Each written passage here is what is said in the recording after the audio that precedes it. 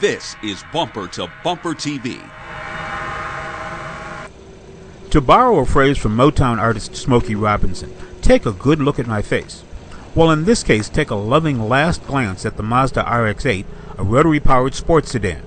With its suicide doors, the vehicle is now part of the automotive history like the Plymouth Prowler and Ford Falcon. The heart and soul of the RX 8 is the 1.3 liter rotary engine mated to a 6 speed manual gearbox. It cranks out 232 horsepower and 159 foot pounds of torque.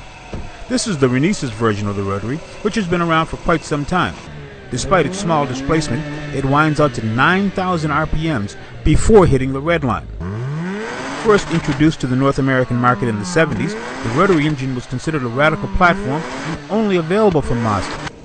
With a curb weight of 3,100 pounds, the RX-8 stands out for its ease of handling, even in sharp turns. Remember, it's one of the few rear-wheel drive offerings in its segment. We did like the sound it made while moving through the gears. Thank goodness somebody at Mazda obviously missed the class in deadening the sound in a sports car. We mentioned earlier that it's a driver-oriented vehicle, yet there is a back seat if you want to call this one, with a center console for storage. This is a space better used to hold backpacks and briefcases than people, but this car was never designed to be a player in the carpool segment.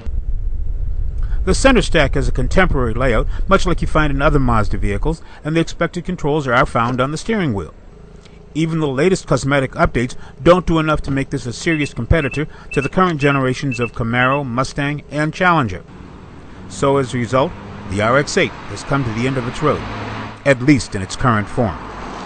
This is Greg Morrison. We want to know what you think, so email us. The address is bumper to bumper TV at cs.com.